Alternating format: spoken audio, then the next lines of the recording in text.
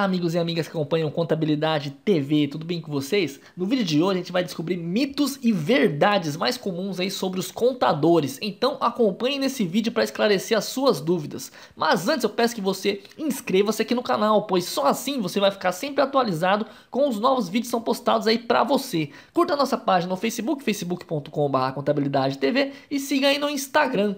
Bom pessoal, vamos ao que interessa aí, que é falar sobre os mitos e verdades mais comuns aí sobre os contadores. O que as pessoas pensam dos contadores? Vamos lá então. Que o contador é um profissional essencial nas mais diversas áreas, a gente já sabe. Mas acredite se você quiser, muitas pessoas ainda não sabem direito o que faz um profissional da contabilidade. As pessoas não conhecem muito bem o que faz o contador. O fato de uma pessoa normal não saber muito bem o que faz o contador pode até prejudicar os negócios aí do contador. Pois se o cliente não sabe o que você faz, provavelmente ele vai achar que nem precisa de você, né? Caso você seja contador. E se ele achar que nem precisa, quando ele precisar, ele vai querer pagar bem baratinho, bem baratinho aí, né? Muito menos do que realmente vale o serviço do contador contador. Por isso, a informação é muito importante. Por isso, tirar o mito aí e falar as verdades do contador vai ajudar bastante a profissão. Mas assim, gente, muita gente acha que contador só entende de número. Muita gente acha que contador é um matemático, né? Muito além de entender de números, contratar um contador pode te ajudar a redefinir suas áreas de investimento. Vai te ajudar a controlar seus gastos e até os rumos futuros da sua empresa, caso você seja um empresário. Então, eu trouxe nesse vídeo alguns mitos e verdades sobre o papel do contador e o estereótipo do contador na sociedade atual. Nesse vídeo você vai descobrir mitos e verdades do contador e no final vai entender o quanto pode ser valioso ter um contador te ajudando aí na sua empresa. Então uma primeira dúvida que muitas pessoas têm, contadores são bons em matemática, são os caras da matemática. Bem, isso aí na realidade é um mito. As pessoas costumam achar que todo contador é um grande mestre da matemática e vive pensando o dia inteiro em números, em fórmulas mirabolantes. Não é isso, gente. Na verdade, não é necessariamente assim. Quem sabe muita matemática, na realidade, é um matemático e não um contador. O contador é o seguinte: o contador precisa usar matemática sim, mas sempre em conceitos mais básicos da matéria e são ajudados muitas vezes por programas específicos de computador. Além disso, não são todas as áreas da contabilidade que precisam de muitas contas. Então o contador ele opera em mais operações básicas mesmo, como por exemplo fazer porcentagem, fazer alguns cálculos de multiplicação, de divisão, enfim, cálculos mais básicos, beleza? Estatísticos e por aí vai. Tranquilo, pessoal? Vamos então aí falar sobre uma segunda dúvida que é muito frequente sobre o contador. Sua empresa precisa de um contador? É verdade isso?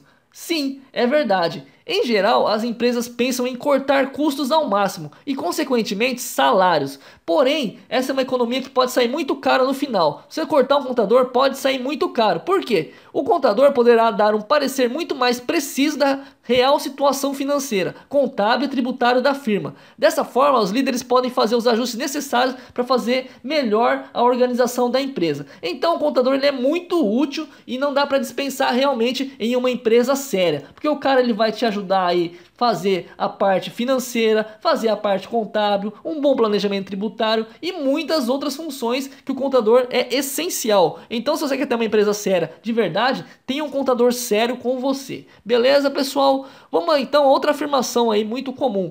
Todo contador sabe como fazer seus impostos. Isso aqui é um mito, gente. Na verdade, todo profissional de contabilidade vive esse pesadelo. As pessoas que não são contadores descobrem que você é um contador. E o que elas começam a fazer? Começa a pedir dicas de como fazer, por exemplo, o um imposto de renda. Né? Isso é certeza. Você forma em ciências contábeis, todos os parentes, família e amigos quer que você faça imposto de renda gratuito para eles. Né? Mas, embora essa possa ser uma das funções, que é fazer a parte de impostos aí, a contabilidade possui diversas áreas e nem todos entendem de imposto de renda.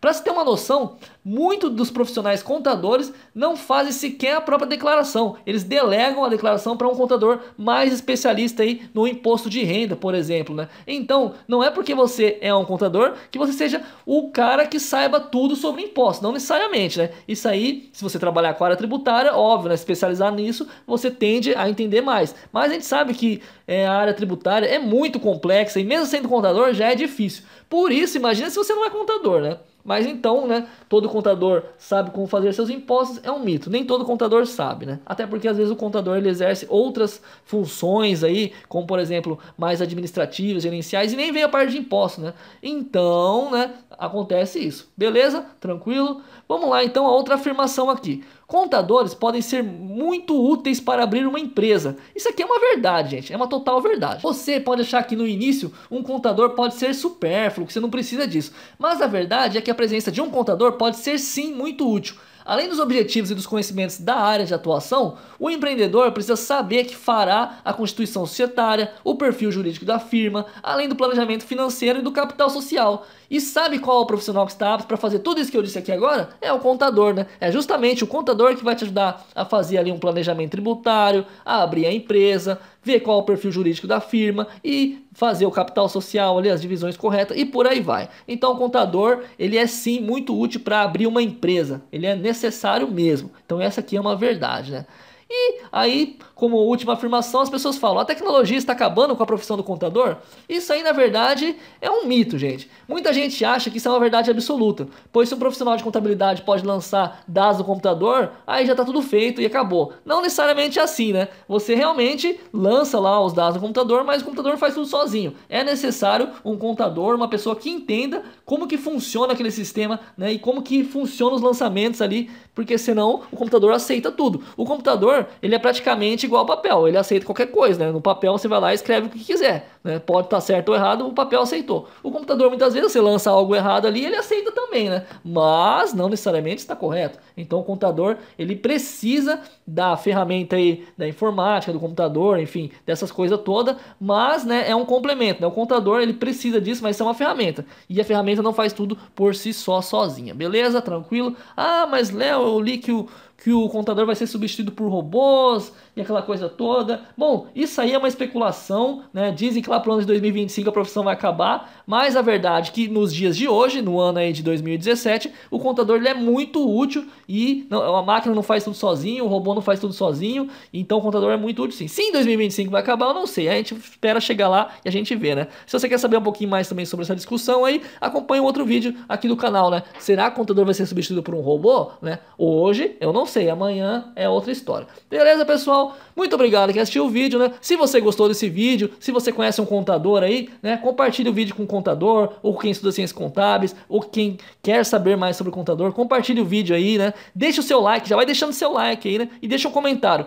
Você concorda com as afirmações faladas nesse vídeo? É tudo certo, é errado? Tem alguma coisa a mais aí que você acha que deveria ser falado e não foi falado, deixe seu comentário aí, é muito importante, né? Compartilhe o vídeo e o principal, inscreva-se no canal, pois só assim você vai ficar sempre atualizado com os novos vídeos que são postados aí pra você. Muito obrigado e que Deus abençoe a sua vida. Fui!